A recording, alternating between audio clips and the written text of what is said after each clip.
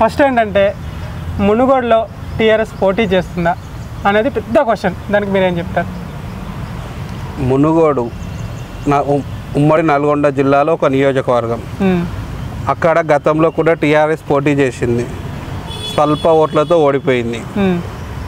మీరు పోటీ చేస్తుందా అనే దాంట్లో ఏ ఉద్దేశంతో అన్నారు కానీ మునుగోడులో ఖచ్చితంగా టీఆర్ఎస్ పార్టీ పోటీ చేస్తుంది ఖచ్చితంగా గెలిచి తీరుతుంది.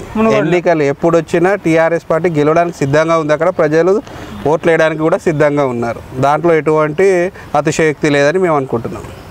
అది ఇప్పుడు మునుగోడులో టీఆర్ఎస్ బరిలో దిగబోతున్న టీఆర్ఎస్ తరపున ఎన్నికల బరిలో దిగబోతున్న ఎమ్మెల్యే క్యాండిడేట్ ఎవరు అక్కడ ఇప్పుడు ఆ నియోజకవర్గంలో అక్కడ ఉన్నటువంటి నాయకులు మండల స్థాయి నాయకులు గ్రామ స్థాయి నాయకులు అందరితోటి అక్కడ ఉన్నటువంటి మంత్రి జగదీశ్వర్ రెడ్డి గారు సంప్రదిస్తున్నారు. అక్కడ ఉన్నటువంటి నాయకులలో గతంలో పోటీ చేసిన నాయకులు ఉన్నారు. ప్రస్తుతం చాలా యాక్టివ్గా పనిచేసే నాయకులు ఉన్నారు. అక్కడ ఉన్న ప్రజలు ఎవరిని కోరుకుంటున్నారు? ప్రజల కోరిక మేరకు పార్టీ శ్రేణుల ఎలాంటి నాయకుడిని కోరుకుంటారు ఏ సామాజిక వర్గానికి ఎక్కువ ప్రాధాన్యత ఇస్తున్నారో దాన్ని దృష్టిలో ఉంచుకొనే ముఖ్యమంత్రి గారు అన్ని సామాజిక వర్గాలతోటి సంప్రదింపులు జరుపుతున్నారు. ఖచ్చితంగా ఒక బలమైన అభ్యర్థిని పోటీలో దింపుతాం. ఖచ్చితంగా భారీ మెజార్టీతో గెలుస్తాం. ఎవరనేది చెప్పలేదు నాకు ఇంకా మీరు క్లియర్గా. ఎవరు అనేది చెప్తున్నాం కదా ఇప్పటిదాకా మీకు చెప్పిన దాంట్లో ఉంది. అక్కడ రకరకాల పరిస్థితులు ఉన్నాయి. గతంలో ఉమ్మడి నల్గొండ అనేది కోమటిరెడ్డి బ్రదర్స్ ఏదో కంచుకోట అనేది ఒక పేరుంది.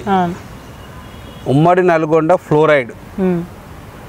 ఫ్లోరైడ్ అనేది దేశంలో ఒక రికార్డు.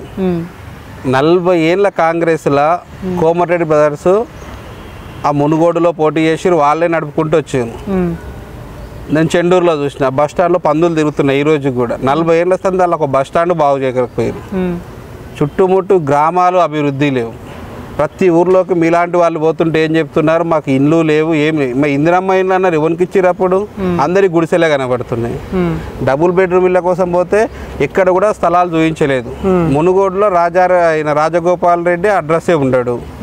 ఇప్పుడు ఖచ్చితంగా రాబోయే ఎలక్షన్లో అక్కడ ఉన్న ప్రజలు ఏం చేస్తున్నారంటే మాకు అందుబాటులో ఉండే నాయకుడు కావాలని కోరుకుంటున్నారు.